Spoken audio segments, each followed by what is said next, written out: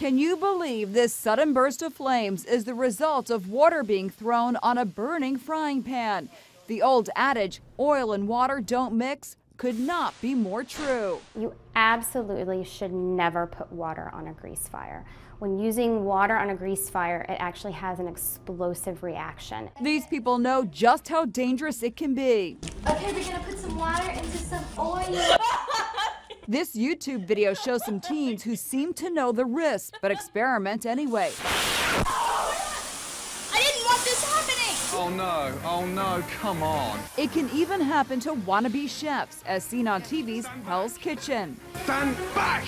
And remember the Baltimore mom dubbed Mom of the Year after hauling her son off the streets at the Baltimore riots a year ago?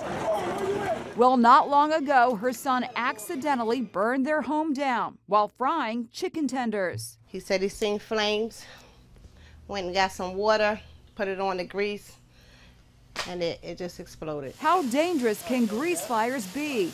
We took a jar filled with a little bit of water and attached it to a long pole at this test lab in Long Island, New York. Now watch what happens when we pour the water onto the fire. In an instant, the flames shoot up to the ceiling. Fortunately, the ceiling is made of fireproof cinder block.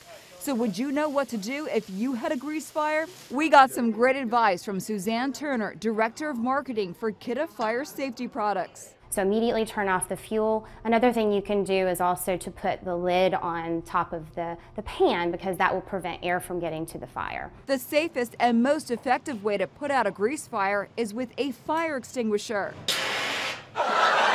As depicted in this scene from Everybody Loves Raymond, Ray didn't know what to do. Fire! Fire! Fire! Fortunately, his TV wife took charge.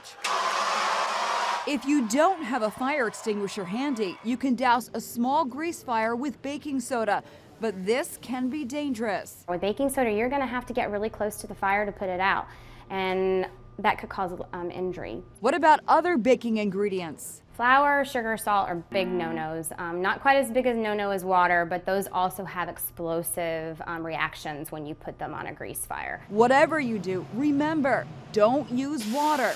And there's one more tip. If you can't extinguish that fire within 8 to 10 seconds, by whatever means you've tried, you need to get out of the house and call the fire department.